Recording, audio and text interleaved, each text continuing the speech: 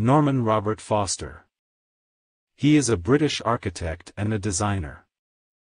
Received the 21st Pritzker Architecture Prize in 1999, has been awarded by the American Institute of Architects in 1994, the Royal Gold Medal for Architecture in 1983, and the Gold Medal of the French Academy of Architecture in 1991. Known for his high-tech and modernist architectural style. Incorporating the use of materials such as steel and glass. Recognized as a British modernist architect.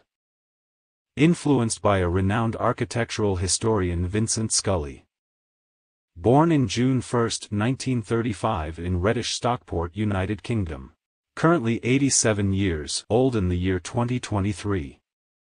Studied in Manchester University, School of Architecture and City Planning in 1961, and gained his master's degree in Yale University in 1962. Worked for Architectural Association in London as vice president, and a council member of the Royal College of Arts, and a founding trustee of the Architecture Foundation of London. Norman Robert Foster's famous works 1. The Gherkin, in London in 2003.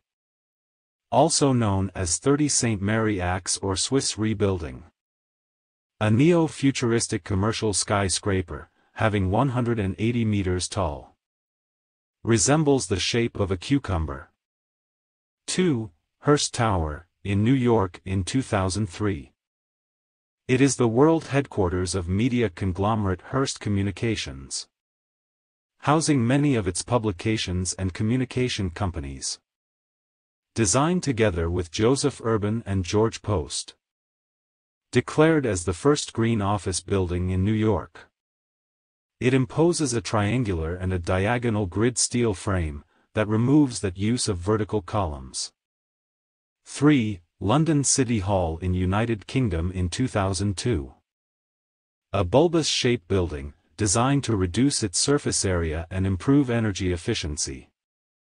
Frequently compared to a helmet and a misshapen egg, referred as a glass testicle by former mayor Ken Livingstone.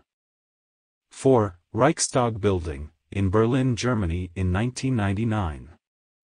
A historic government building which houses the Bundestag, the lower house of Germany's parliament. Originally designed by Paul Wallot. And was redesigned by Foster to have a glass cupola, to symbolize rebirth and to improve its natural lighting and ventilation. 5. HSBC, in Hong Kong in 1986. The main headquarter building of the Hong Kong and Shanghai Banking Corporation. For more famous architects and their famous works, Click on the next video.